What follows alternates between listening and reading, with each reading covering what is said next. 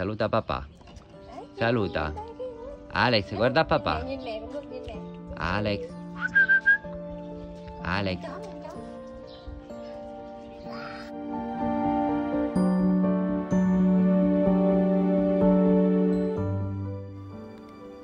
Chào mọi người, mình là Kina. Bạn đã từng đến thăm thành phố Barcelona của nước Tây Ban Nha chưa? Nếu có, hãy cho mình biết cảm nhận của bạn về thành phố đó ở phía dưới comment nhé. Mình chưa từng đến Barcelona, mình chỉ biết về thành phố này qua những công trình của kiến trúc sư Gaudi từ thời còn là sinh viên của trường đại học kiến trúc. Hôm nay, mọi người hãy cùng gia đình mình tham quan một Barcelona thu nhỏ tại Sicily nhé. Ciao Alex. chào chào chào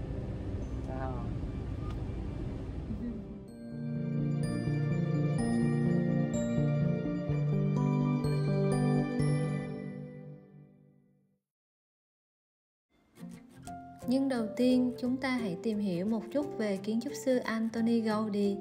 Ông là người Tây Ban Nha, xứ Catalan. Ông là một kiến trúc sư theo phong cách tân nghệ thuật Art Nouveau của dòng kiến trúc hậu hiện đại, nổi tiếng bởi những thiết kế độc đáo theo phong cách cá nhân. Bảy tác phẩm kiến trúc của ông đã được UNESCO công nhận là di sản văn hóa thế giới từ năm 1984 đến năm 2005. Đó nổi tiếng nhất có thể kể đến đó là nhà thờ Sagrada Familia, một ví dụ tuyệt vời của kiến trúc vô thức hiện đại kết hợp với các yếu tố của biểu tượng tôn giáo. Điểm chung ở các công trình tiêu biểu này là đều sử dụng vật liệu azulejo trong trang trí kiến trúc.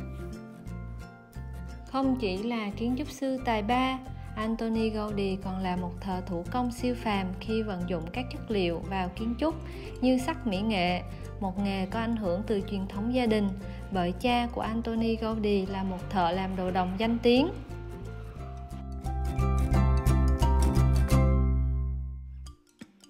Chất liệu thứ hai thường được Gaudi sử dụng là gốm kiến trúc, cũng là phong cách trang trí như azulejo, nhưng tùy từng công trình, Gaudi vận dụng thủ pháp khác nhau để tôn lên đường nét trong các chi tiết thiết kế.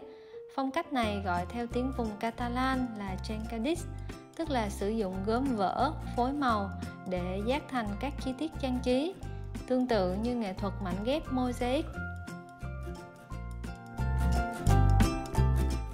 Tất cả những điều này bạn sẽ thấy rất rõ khi đến tham quan ngôi làng Borgo Barini tại thành phố Partinico, Sicily.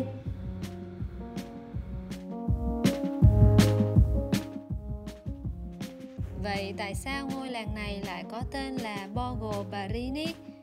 Thì câu chuyện kể lại là vào thế kỷ thứ 16, có một vài người mục sư đến từ Palermo. Trong tiếng Sicily, mục sư gọi là Barini. Họ mua một vài mảnh đất tại Patinico để xây dựng một nhà thờ gọi là Maria del Rosario để có thể quản lý tốt hơn những người nông dân của họ.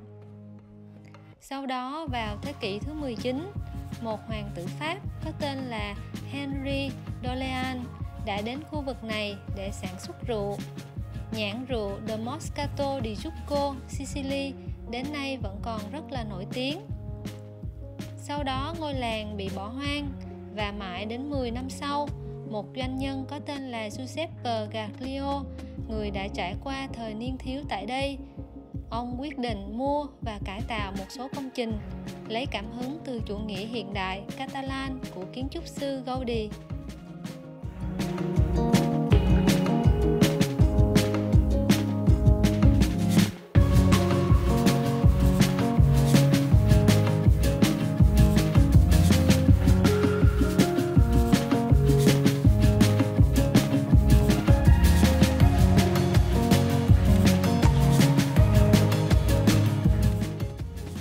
Nhờ có Gaglio, thị trấn nhỏ bé đã biến thành một điểm tham quan hấp dẫn mà mỗi mùa hè thu hút hàng chục nghìn khách du lịch đến từ khắp châu Âu.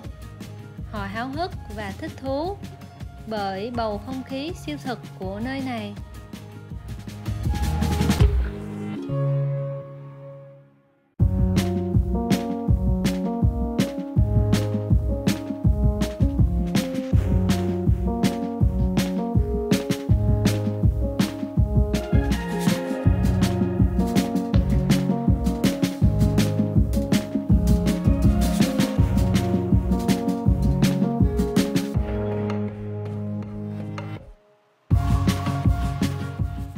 Bên trong ngôi nhà này còn có một quán cà phê nhỏ xinh được thiết kế nội thất vô cùng độc đáo. Với mình, đây là một công trình rất là thú vị cả về ngoại thất lẫn nội thất bên trong. Cho nên nếu có một lần đến thăm Sicily, các bạn hãy ghé thăm ngôi làng Borgo Barini này nhé. Nó chỉ cách Palermo tầm 30 km. Cảm ơn mọi người đã xem video này và nếu thích thì hãy like và subscribe để có thể theo dõi cuộc sống tại Sicily của gia đình Alex nha. Xin cảm ơn.